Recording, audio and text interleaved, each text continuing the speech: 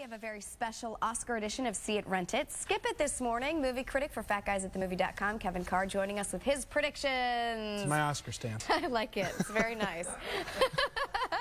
All right, let's start with uh, Best Supporting Actress. Yes. Who's going to win? I think that a lot of people were thinking Melissa Leo, but she ran that little own Oscar campaign for uh -huh. herself. I really think the wind's going to blow to Hailee Steinfeld from True Grit. Okay. Because, you know, when you're young like that, you can win that Best Supporting Oscar. She was kind of the star of the movie. Yeah, she did a fantastic really was. job. What about Best Supporting Actor? Now, Best Supporting Actor, again, this is one that might mix up a little bit. The good money is on Christian Bale for The Fighter. Yeah. but, uh, you know, maybe Geoffrey Rush for The King's Speech, but you know, if I'm going to put money on it, it's going to be Christian Bale for the fighter. He's won awards already. I think I'm going with Christian Bale too. I have to admit. Batman. Yeah, it was a great movie too. Um, all right, so we've got Best Actress also to talk about. There's That's right. there's definitely a favorite here to win it. There is. There, uh, the the favorite is, is Natalie Portman. Right. I think she's going to win it. But again, you've got Nicole uh, Nicole Kidman for Rabbit Hole. You've got Annette Bening for The Kids Are All Right. They both Annette Bening and Natalie Portman won Golden Globes. Yeah. I think it's going to be Natalie Portman. It's probably going to be one of the few that Black Swan actually wins. Yeah, and we're looking uh, at a little bit of video from that. Yeah. She was just incredible in this film. And I was her body double in this. Oh, you were? Yeah, yeah you look just like her, actually. Uh, just you, you, have a little bit more hair. Just a tad. Yeah. yeah. Um, what about Best Actor? Who do you think is going to win that? Uh, this one, again, if there's going to be a sure thing, it's going to be Geoffrey Rush.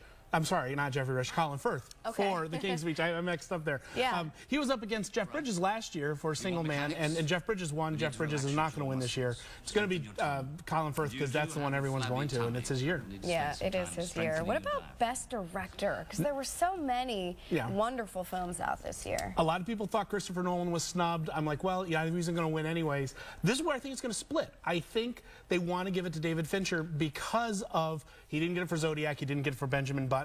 I think they want to give it to David Fincher for doing The Social Network. The Social Network, really, was it one of your favorite movies? Do you think? No, I, I personally didn't, didn't, like. It? I didn't like it, but a lot of other people did. Okay.